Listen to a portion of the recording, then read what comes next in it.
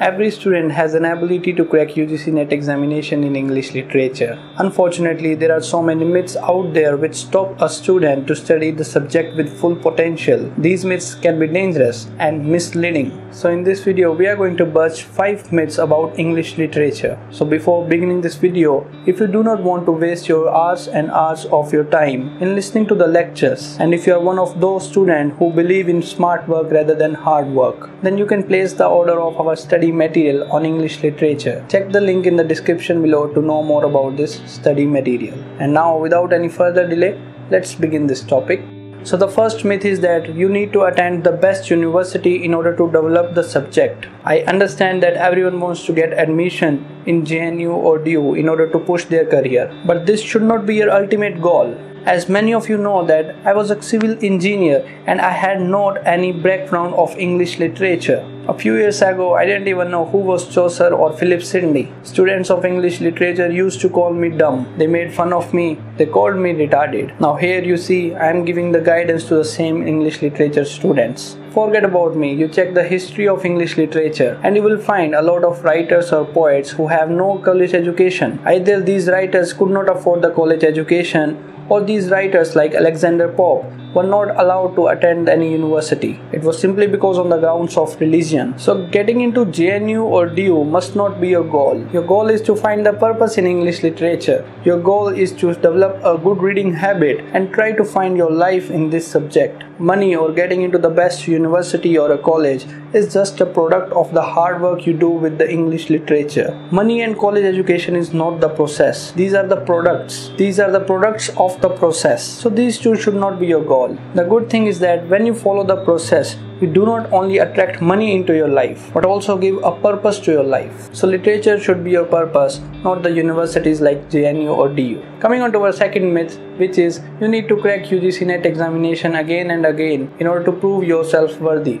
I request all of the students who are watching this video to not get into the hype of cracking UGC NET examination again and over again. I have seen students wasting their years and years sitting again and again in this examination. Once you have cracked your UGC NET examination, then move on. Don't get into the hype of cracking more and more examination. I have seen students who have cracked UGC NET examination two times, three times, five times, yet they are still unable to figure out how to earn their living. Instead of wasting your time in cracking the subject again and again, start making your PhD proposal, start doing some research work, or you can also start submitting your resume to different universities. We crack UGC NET examination so that we can teach. And if you are wasting your years years in a hope that you will get something better, better, then it is not going to happen. You have to move on and you have to develop the skills that are required for you to become a great teacher. 21st century is not about rat race, it is about skills, it is about knowledge. These are the commodities which sell in the market, and you need to develop your skills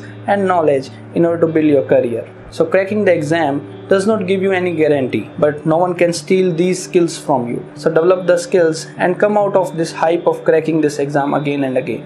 Myth number three is that great teachers build great students. This is the most common myth that is circulated around in the field of English literature. Great teachers do not build great students. It is only the dedication and hard work of the student which makes them great. Though there are dozens of students I contact on regular basis, but I cannot teach them anything. I can just guide them. They crack the UGC NET examination by themselves and note that I have given something to them so that they will crack the examination. All the credit goes to the students and not to the coaching class and not to the teachers.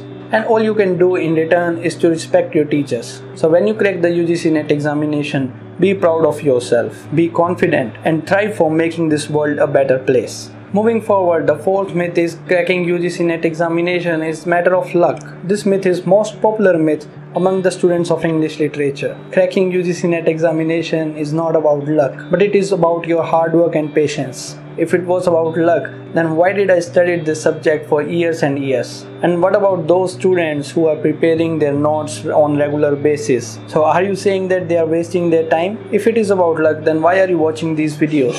Luck always favors the bold. So this UGC NET certificate belongs to smart students, to the dedicated students. So the fifth myth is questions come from anywhere in UGC NET examination. This myth has been circulated more than it deserves. Many students believe that questions come from anywhere, but it is not the truth. I can show you 70% of the questions coming directly from the books. Nearly 60 to 70% of the questions comes from these books which I have mentioned in my earlier videos. I have given the link to that video in the comment section below. So before you go to that video, I want to warn you that these books are going to take more than a year. It may take you a couple of more years to understand and digest the information. So here comes the role of smart study and for that I have created the smart study material for you. I have given link to both the resources the books and the study material in the description below. You have to choose what you want to do with these two resources. So with this we come to the end of this video. I hope you found the video worth your time. So that's it for this video. Thank you.